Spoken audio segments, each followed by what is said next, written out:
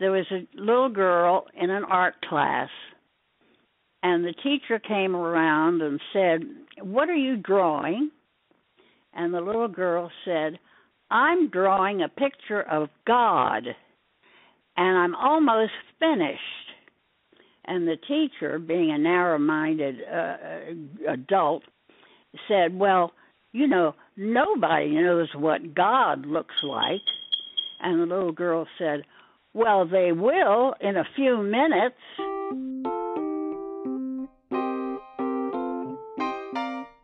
My name is Liz Whitney Quisgard. I'm a New York artist, and I'm particularly honored to be showing at 108 Contemporary. In my youthful truth seeking days, I wrote reams of justification for my work. Now that the work has matured, and I simultaneously put less and less value on truth, whatever that is, words have become irrelevant. So, when called upon to explain what I do, I'm inclined to say, What you see is what you get. Couched in this flippant response is a firm conviction that the visual arts are exactly that visual. No meanings, no preachments, no symbols, politics, philosophy, the human condition, the environment, and other causes about which people paint, perform, and sculpt these days are subjects for discourse best expressed with words. Attempts to transform them into pictorial images tend to become mere illustration, most often jejune. Jejune is my favorite word. My goal is to surprise and engage the mind by seducing the eye. Toward that end, I rely on pattern. The term decorative has become applied to my work most often in a negative sense. But that's okay with me, for some of the most important art is essentially decorative.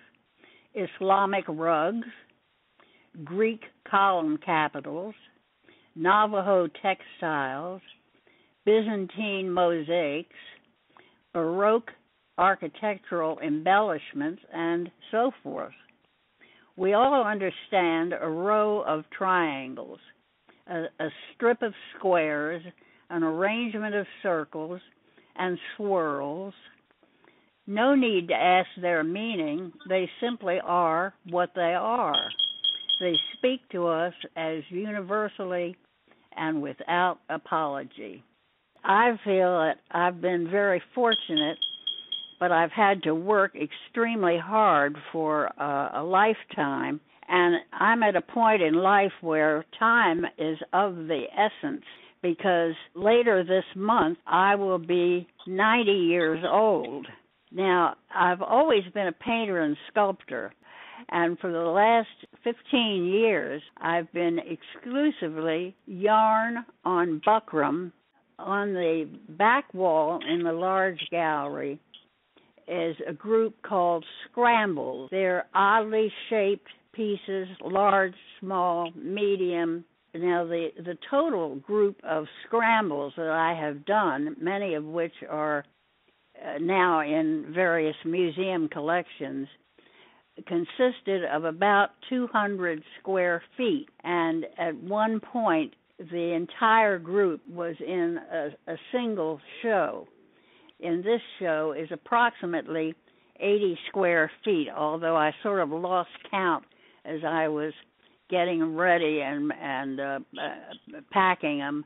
But you can see that that's a small quantity compared to the the number that I've done uh, and there's no no set format. It can go vertical, it can go horizontal, it can stretch out 40 feet and be only three feet high. Now, that also applies to one that I call hundreds of circles. Rather than using irregular shapes, uh, my tendency is always to go for geometry. And the circle is my favorite geometric form because I think it's the most perfect form. There's no beginning and no end. Now, more recently, adding bling to the mixture.